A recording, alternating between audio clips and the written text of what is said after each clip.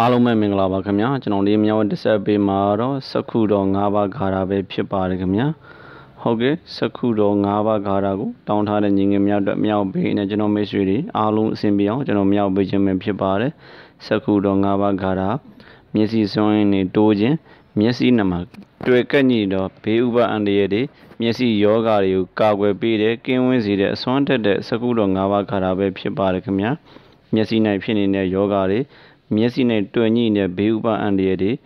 ကာကွယ်ပေးတယ်မျက်စိစွမ်းရည်တွေတိုးစေတယ်မျက်နှာချင်းဆိုင်ပြောဆိုရမယ့်ကိစ္စတိုင်းအောင်မြင်စေတဲ့အကျိုးတရားတွေခံစားမှာဖြစ်ပါတယ်ဒါကျွန်တော်မိတ်ဆွေတွေ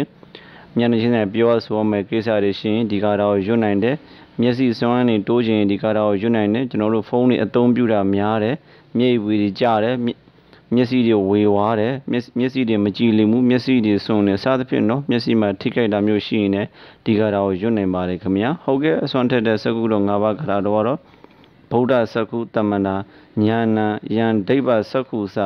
ဓမ္မောတိပြင်စစကုဟိတတဝေမာရဇိနမေကျွန်တော်နောက်တစ်ခေါက်ထပ်ပူဇော်ပေးပါမယ်ခင်ဗျာဗုဒ္ဓစကုတမနာစညာဏယံဒိဗ္ဗစကုသဓမ္မောတိ ပြင်စစကုဟိတတဝေမာရဇိနမေကျွန်တော်နောက်တစ်ခေါက်ထပ်ပူဇော်ပေးပါမယ်ခင်ဗျာဗုဒ္ဓစကုတမနာစညာဏယံဒိဗ္ဗစကုစ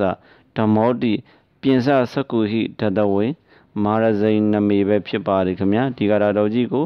မနက်တိုင်းကိုးကောက်ကိုးကောက်မုံတော့အလုတ်ကိစ္စတွေရှင်ကိုးကောက်ယူပြီးတော့အောင်မြင်စေတယ် မျက်နှာချင်းဆိုင်ပြောဆိုရမယ့်ကိစ္စတွေကိုးကောက်ယူပြီးတော့အောင်မြင်စေတယ်မျက်စိမှာတွေ့ကက်နေတဲ့ဘေးဥပအန္တရာယ်တွေမညှိတွေ့အောင်ကိုးကောက်ယူပြီးတော့မျက်စိကို